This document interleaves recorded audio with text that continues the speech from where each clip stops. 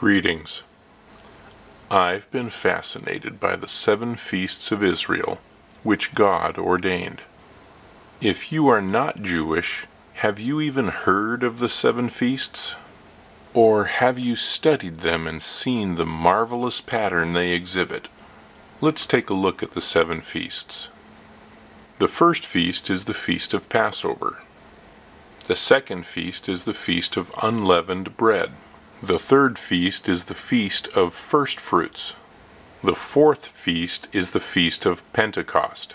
The fifth feast is the Feast of Trumpets. The sixth feast is the Day of Atonement. The seventh feast is the Feast of Tabernacles. There are plenty of excellent websites that teach about the specific feasts. And I really, really hope this video encourages you to study them.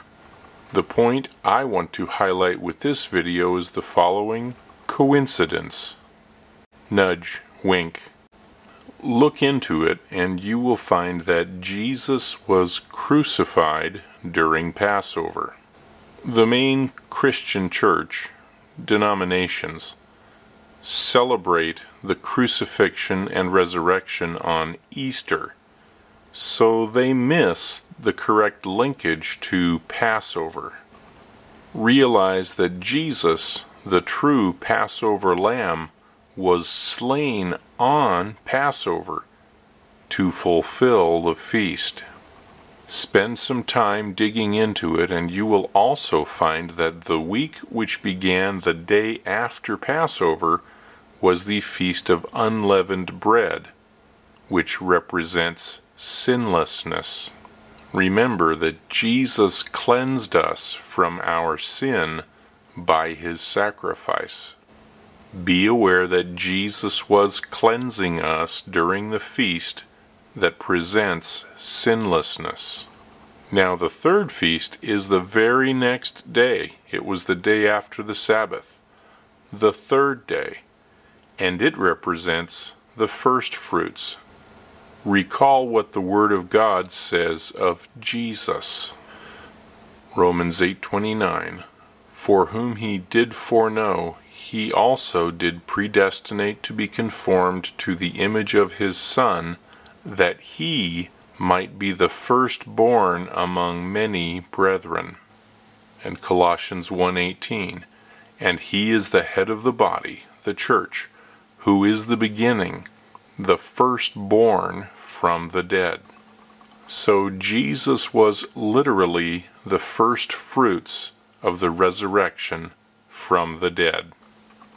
Again, Jesus fulfilled the Feast of First Fruits on the very day of the feast.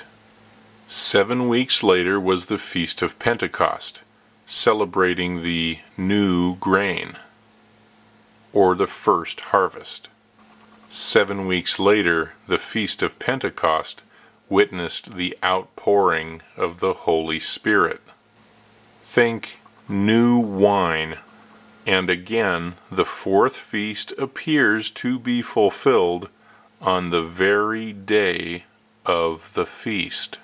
These four feasts are the spring feasts, and each feast witnessed a spiritual fulfillment during the actual annual celebration of that feast.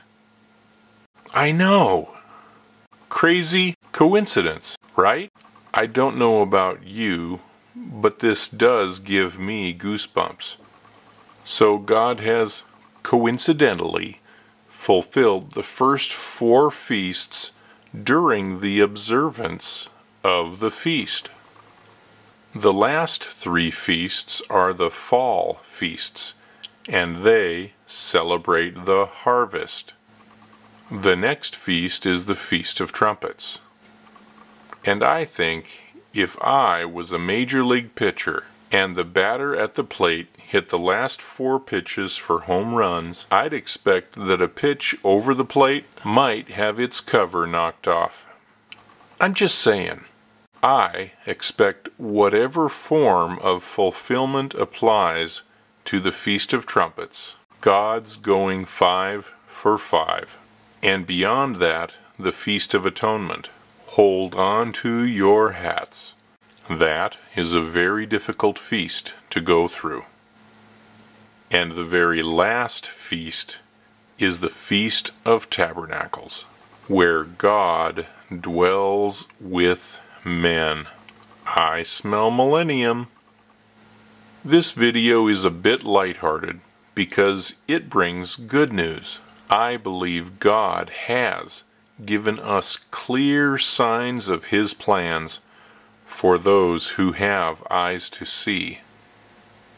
May the Spirit of God open your eyes to the light that you may see, your ears to the truth that you may hear, and your heart to His Son, the Lord Jesus Christ, that you may believe unto eternal life. Amen.